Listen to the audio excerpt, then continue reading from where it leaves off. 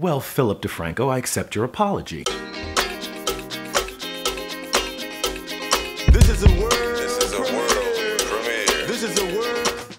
Hey y'all, welcome to another Food for Thought. So this is just a little bit of a follow-up on my video from yesterday. So there's a couple things I want to talk about. First of all, I really appreciated the feedback from a lot of you from that video from yesterday. And you know, there's clear in some places people kind of misunderstood where I was coming from. I clearly didn't give enough background on the original Philip DeFranco video or even, you know, uh, information on, you know, where like, you know, the Jake uh, Tapper criticisms that were coming from. And it turned out actually it was the leadership of the Women's March, the folks who actually organized the, the Women's March that Jake Tapper was originally um, responding to. So I, I, I, realized I didn't give a lot of information because I was really just um, trying to talk about a kind of a mode of responding to the Black Power movement, just in general, the way the you know the people talk about the Black Power movement and the way the Black Power movement gets very very quickly associated with with terrorist groups and in ways that um, historically have been, um, I don't want to say unfair, but historically have been um, out of proportion with the work that's being done by the leadership in those movements and the violence that those movements are often met with. Um, but I also want to, first of all, before I jump into everything, I want to mention, okay, uh, Foot Soldier, thank you so much for uh, checking out the video that I made about you and for finally responding to it. And yes, you know, all love, and of course, yes, we, you know, you know, all mutual admiration and all those things. But I do want to um, I did kind of give some shade to Foot Soldier for not having responded to the video that I, you know, made you know, specifically about him. And, you know, yes, he did ultimately respond, and I'm really, really grateful for that. Also, some bad news. Jack is at the vet. Jack's in the hospital. He's been very, very sick. Like, like death watch kind of sick um, like and i and i mean that with no irony whatsoever i was really really uh, nervous about things in fact a couple of times i walked in and he was so listless that I actually thought I had been walking in on, you know, poor Jack's corpse. He's doing better right now. He's at the vet. They're keeping him under observation, and my hope is that I'll be able to give you guys an update. So, yeah, so that's the story about Jack. Generally, some of the responses that I got from people, like one that um, particularly um, touched me was someone was um, a little put off by my comparison the comparison that I made between the Black Liberation Army and Black liberation movements in general and ISIS. And I don't know if you recall, but I said specifically in the video yesterday that I didn't want to talk too much about ISIS because I don't know about it. But what I was actually pointing out was it was Philip DeFranco who was comparing the Black Liberation Army to not just the Black Liberation Army, but uh, Assata Shakur specifically to ISIS and to the Ku Klux Klan. And I think that that is very, very dangerous. And I also think in some ways that it's disrespectful to the to the victims of violence in those movements to compare apples and oranges in that way, especially when, you know, generally non-violent movements are being compared to terrorist organizations or groups that have been organized specifically to commit acts of violence like the Ku Klux Klan, like ISIS. So I don't want to uh, come off at all as if I am condoning the actions of those groups at all. I don't want to come off as if I am somehow justifying. Somebody said that I was, you know, justifying murder, and that was not the point of the video at all. People, if you were watching, if people were watching and listening carefully, what I was saying is one should not accept the version of history that Philip DeFranco was sharing in his video. So here's where I get to the apology from Philip DeFranco. Philip DeFranco's video from yesterday, which came out shortly after I had posted my video about him and his video from the day before, he posted a video where he, you know, there was a, a police officer who was caught on tape planting evidence. there was a police officer who was caught on tape planting evidence. So here we are in 2017 with police officers still planting evidence in order to convict certain members of segments of the population of crimes of which they are not guilty or of which they may be guilty, but in the case of this particular individual, they were not guilty of what they were being charged with. So, um, Philip DeFranco himself posted a video giving evidence, giving the, the kind of evidence that one could use in an argument to say that it, you know we shouldn't make assumptions about um, you know testimony given by police officers in their own cases not every police officer is guilty of, of falsifying evidence.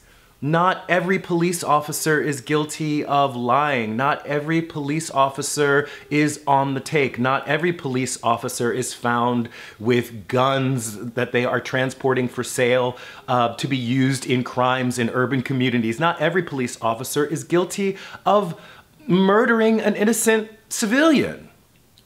But it happens.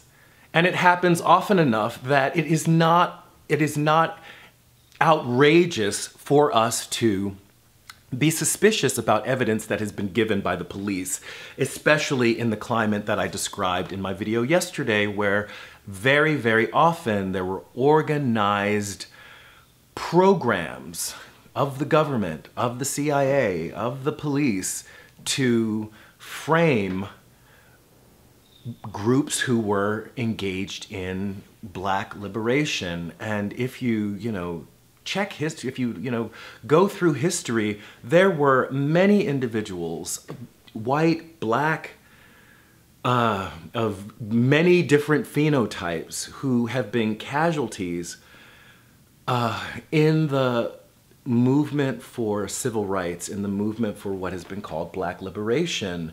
So, another thing that I want to point out is that when we look at the history of struggles in the world, okay, first of all, we wouldn't have a United States unless there had been an armed struggle for our liberty, right? And so you may or may not be someone who um, appreciates, you know, that um, the violence that was done, you know, had indeed had victims had victims that were considered you know part of the other side but also had victims who were you know you know you know fighting for us right but we you know have to understand that we live in a world where often the way to overcome oppression historically has been through violence. Again we wouldn't have a united states of america. And if you go to pretty much any you know national park any you know municipal building, there's either the name of or a statue of someone in a military uniform or someone who engaged in that violence that was used to help us establish the society that we have today. And so there is, in some ways, a logical inconsistence. There is a logical inconsistence for people who want to criticize um, some groups for their either vi- violent rhetoric or some of the violent tactics of any kind, of any kind. Um, this is not to uh, compare uh, the American revolutionaries to groups like ISIS, to groups like the KKK, but to, to uh, condemn all forms of violence uh, is a bit naive in a world where often the liberties that we enjoy in our modern times is because of the violence that was perpetrated by individuals on our behalf in the past. If you look at the history of struggles in America, um, you can find all kinds of leaders who have used all kinds of methods to achieve goals that now we consider, you know, noble goals. Um, in the case of the leadership in civil rights and black liberation, you will note that most of those individuals have FBI files. Most of those in- individuals have been labeled enemies of the state. And so for uh, Philip DeFranco, again, to use the, the fact of uh, Assata Shakur's um, inclusion on the FBI's 10 most wanted terrorists list. Um, to to uh, you know use that as evidence against that individual when you could you could you we'd be we'd likely be saying the same thing about Malcolm X if Malcolm X had left the country and and was living in Cuba or was living somewhere else in exile. Um, or uh, if, if someone else was an expatriate of the country living somewhere else, right? So let's hold your slow to slow your roll. Slow your roll a little bit, Philip, before you start categorizing people based on the way they have been categorized and or labeled by the establishment. Because, you know, we could be saying the same thing about Martin Luther King. We could be saying the same thing about Medgar Evers. And if our society was at all balanced, we'd be saying the same thing about, you know, me- members of the Weather Underground, who were, you know, by the same definition as someone like Assata Shakur, by the same definition, were terrorists. They blew things up. They blew things up and were responsible for some deaths. But, um, you know, you don't see members of the Weather Underground being labeled terrorists today. In fact, you see um, at least one member of the Weather Underground is doing the college tour circuit and ha- circuit and has a book. So um, let's you know let's try to practice what you know I've you know I'm I'm very very very um, into this idea that um, was presented by Athene Wins of logical consistency. If A is bad and B equals A, then B is bad.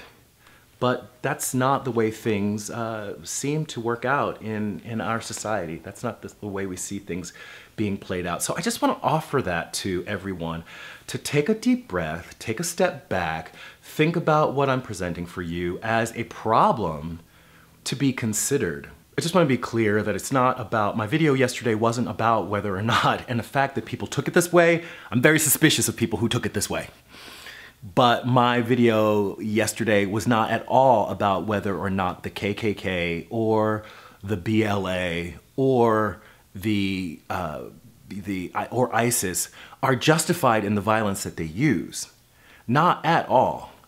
Uh, in fact, I stated very clearly that you know the, that these violent methods I you know was opposed to for some specific reasons, but in general, I've you know most of my videos talk about my my position on violence, which is shifting, I must say, but not that radically.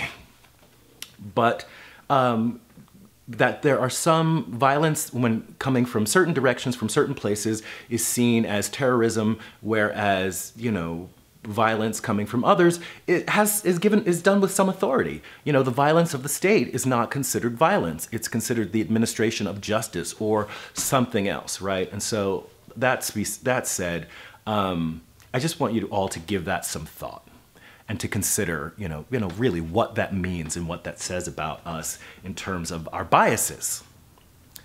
What it says about us in terms of our biases So that's a lot. Anyway, so it's a scorcher here in Detroit today, so I'm going to spend the rest of the day just trying to stay cool. Later, I'm going to go pick up Jack from the vet, and we'll see how all that goes. So that's it for this video. Like it if you like it. Share, comment, subscribe. And this is Reg signing off. Love yourselves. Peace.